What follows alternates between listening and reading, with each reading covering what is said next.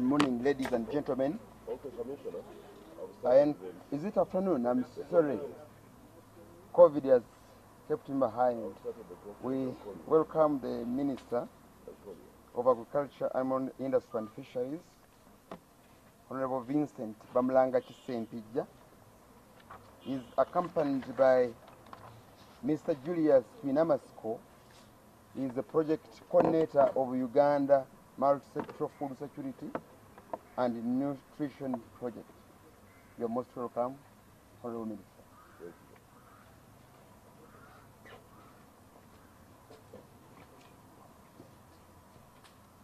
you. Uh, thank you, thank you very much. Ladies and gentlemen, members of the press. Uh, today,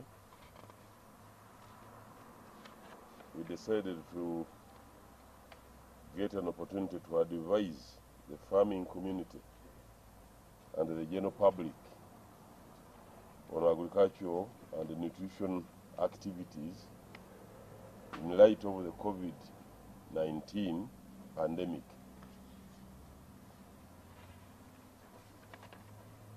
Uh, fellow Ugandans, farmers and the general public, as you are aware, the entire world, including our country, is battling the coronavirus disease, COVID 19, that has claimed many lives and also caused a lot of anxiety among the population. We in the Ministry of Agriculture, Animal Industry and Fisheries, MAAIF, join His Excellency the President of the Republic of Uganda and our colleagues in other sectors, especially the Ministry of Health, in the fight against COVID-19 pandemic. Following the presidential directives and the Ministry of Health guidelines on COVID-19 pandemic, we wish to advise the farming communities and the general public on the agricultural and the nutrition activities that should be undertaken during the period of these directives. The COVID-19 pandemic has unfortunately coincided with the beginning of the cropping season uh, of the year 2020 and this is likely to affect the agricultural production and agriculture activities, particularly uh, the entire uh, production system. In spite of this pandemic, agriculture activities should continue and need to continue, but with strict adherence to the directives from His Excellency the President and the Minister of Health guidelines. So the purpose of this message is to appeal to the farming communities and the general public to take advantage of the current rains to plant and manage crops, look after livestock and fisheries to ensure food, nutrition security, and income uh, during the, the, this period of the scourge and after the pandemic. So the message is to farmers and the general public, while observing the presidential directive or directives and the Ministry of Health guidelines, especially on mass gatherings, farmers should prepare their gardens and plant crops in order not to miss this season. In fact, we encourage and we call upon farmers to plant more, increase sizes of their acreage, but also use all uh, means to increase productivity.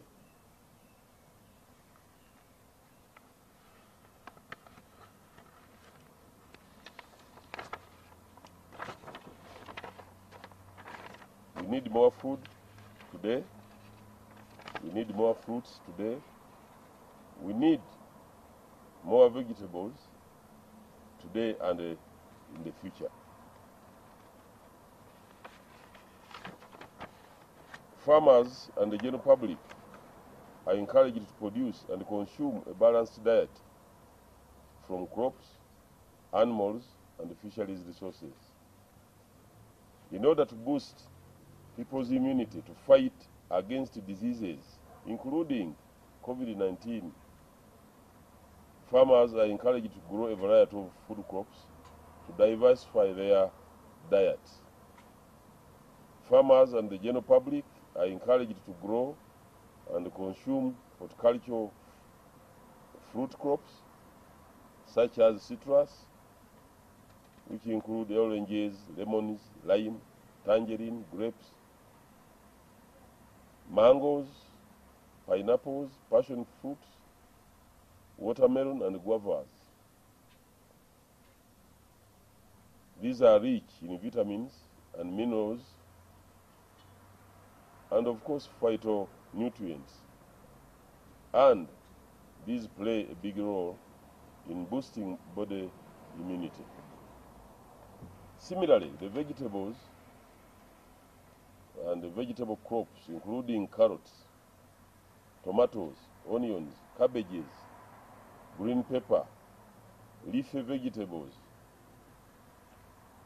like amaranthus, dodo, or buga, nakati, African nightshade, which we call ensuga or enswiga, gobe, which sometimes in our language is called jabio or jobio or akeyo, malakwang, boo or ebo should be eaten in combination because they are also rich in vitamins and minerals. Farmers and the general public are further encouraged to grow and consume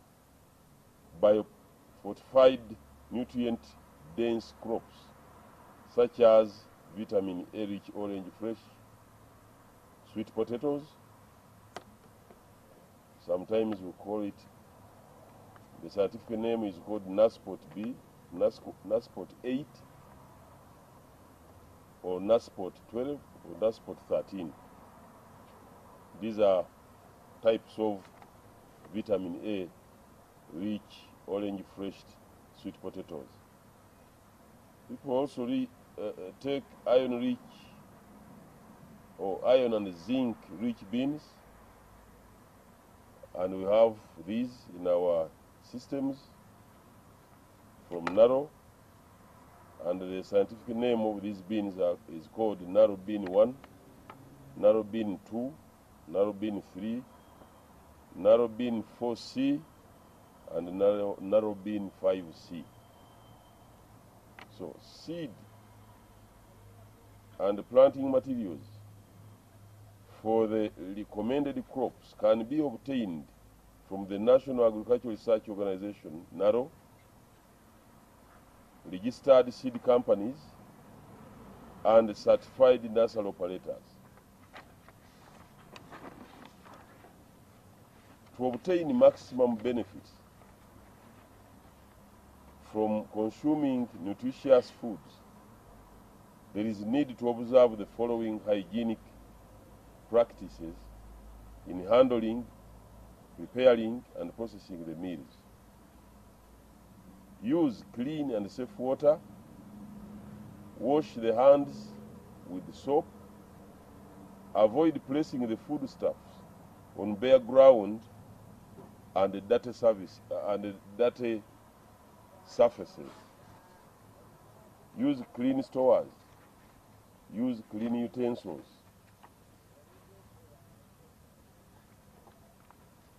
Appeal. I wish to appeal to the general public to comply with His Excellency the President's directives, especially the farmers, and strictly to adhere to the Ministry of Health guidelines on COVID-19 pandemic. Our farmers must remain alive and healthy so that they can produce for us food, fruits, and vegetables, and also meat, milk, and fish. So I encourage the farmers to continue with agricultural production and to always seek the necessary advice from the technical officers. Our technical officers, extension, are there in the sub-counties and we have not recalled them. They have to remain there to help the farmers be able to produce more food. For further information, the Ministry of Agriculture, Animal Industry and Fisheries will always remain open for the necessary technical support. I thank you for God and my country.